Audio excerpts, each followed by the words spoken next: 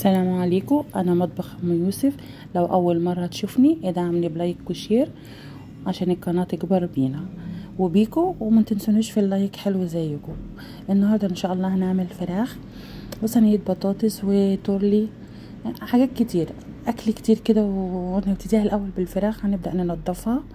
أنتوا عارفين إن الفراخ من الحاجة اللي بتبقى ليها ريحة زنخة كده وبيبقى فيها سنة زفارة بس أنا الحمد لله آه بعملها بطريقة ما بقاش فيها أي ريحة وبقى طعمها تحفة وريحتها تحفة والشوربة بتاعتها تشربيها وانتي مطمنة. طبعا نضفناها كويس وبعد كده هتتغسل تاني وهننقعها طبعا في مية ودقيق وليمون. التتبيلة دي أو الكوكتيل ده أنا مسميه كوكتيل. ده بيخلي الفراخ بصي فلة والله وجربوه ولا هتحسوا بزفارة ولا هتشوفي فيها أي حاجة والشوربة بتاعتها هتبقى صافية وجميلة. أنا كده برضو برجع عيد عليها تاني أهوت. أهو ده بقى المية والدقيق والليمون. وحطي الليمون معاه في المية بيديها نكهة أحلى. برضو هتبدأ بقى إيه تتغسل مرة واتنين وتلاتة واربعة وخمسة لحد لما المية بتاعتها تبقى زي الفل.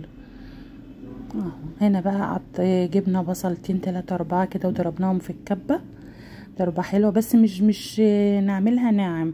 أنا عايزاها تبقى كبيرة شوية عشان لما تتحط في فرن ما تتهرش طبعا حطيت هنا عليها التوابل اللي تحبيها.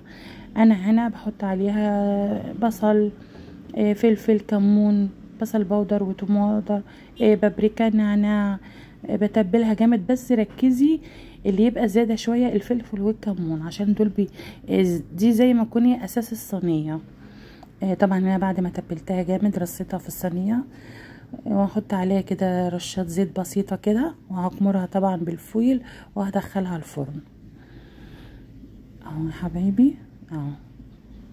حطيتها بال foil وهدخلها الفرن. إيه لحد ما احس إن هي هتستوى إيه من الريحة. أنت مجرد ما تحسي إن ريحتها طلعت إيه كده خلاص بدأت تخش في السوا تقومي شايله الفويل عليها وتسيبيها تستوى براحتها في الفرن.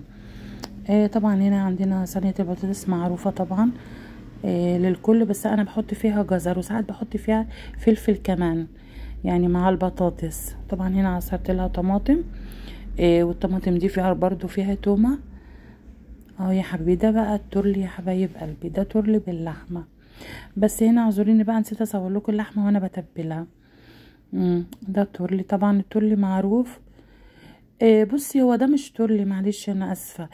إيه هما التلات مسميات واحد تورلي وبورما كلهم طريقة واحدة. إيه بس هي لما بتتعمل في الورقة بتبقى اسمها ورقة لحمة. إيه بتتعمل في الصينية بتبقى اسمها تورلي بتتعمل في الطاجن زي ما أنا عاملاها كده بتبقى اسمها بورما. بس هي ثلاث مسميات مختلفة بس الطعم لا مش واحد ممكن يكون في اختلاف في الطعم بس بتبقى الخضرة هي هي اللي بتحطها هنا هنا هنا. طبعا هنا بعد ما تبلتها كويس ورصيت اللحمة هدخلها الفرن. بعد كده عملت الرز بالشعرية أهو. طبعا بسيط زي ما أنتوا عارفين الرز طبعا أي ست بتعمله. آه ده كان الشكل النهائي ليها هي بس مش قادرة أقول لكم على طعمها. كان تحفة. طعمها جميل قوي قوي قوي والطاجن اعطيها نكهة كده كانت جميلة قوي اهو بألف هنا. وادي الفراخ اهي بعد ما طلعت بالفرن. آه بألف هنا على هي كلها يا رب. أرجو إن أنتوا تجربوها. طريقتي دي في الفراخ حلوة قوي والبورمه كانت تحفة قوي والله مع الرز بالشعرية. أتمنى الوصفه تعجبكم. مع ألف سلامة.